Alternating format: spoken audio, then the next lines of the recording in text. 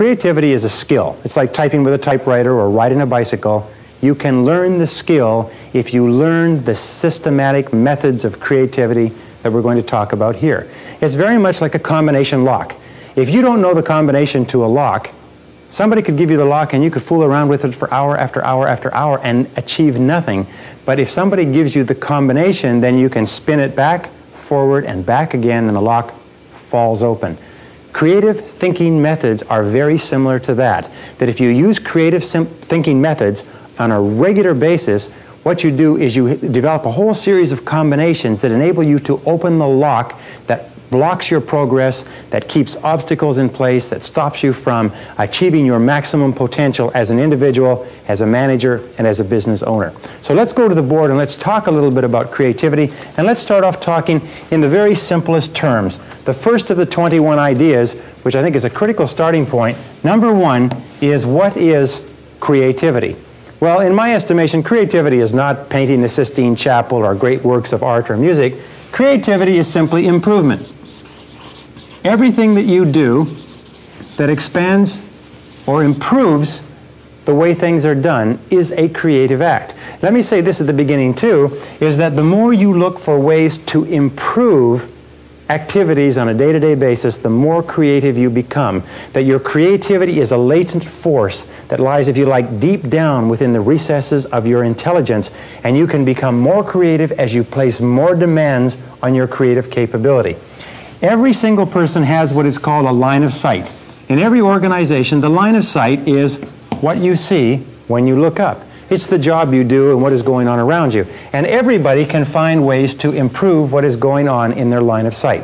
Let me just say this that success in business life is directly proportionate to the quantity of new ideas that you come up with on a day to day, week to week basis. A person who comes up with a continuous stream of good ideas, or even a continu- continuous stream of average ideas, is a person who is destined to great success in business. People who come up with no ideas or very few ideas are usually stuck where they are. So look in your line of sight. What do you see around you that may lead to improvements? In 1975, Mazda Corporation of Japan had been decimated as a result of trying to introduce the rotary engine. Their profits were down to $5 million in that year, and they introduced a suggestion program where they encouraged people in the company to give suggestions on how they could do things better, faster, cheaper, easier, newer, and so on. And the first year they got 200,000 suggestions. And they implemented 60% of the suggestions. A total of 120,000 suggestions were implemented, and they found a very interesting thing, is that although they had a reward system for good suggestions, the major reward that people reported to them was seeing their suggestion implemented in their line of sight. The satisfaction they got from coming up with an idea and seeing it applied was the big payoff. In 1980, only five years later, Mazda Corporation had made an astonishing turnaround. Their profits were up to 95 million. The number of suggestions was running at 2 million suggestions per year, and they were still maintaining a level of implementation of 60%. Profits had increased 1,800%, and the officials of Mazda Corporation said that the primary reason for it was the suggestive suggestion system where they encouraged everybody to be innovative and be continually looking for ways to do things better.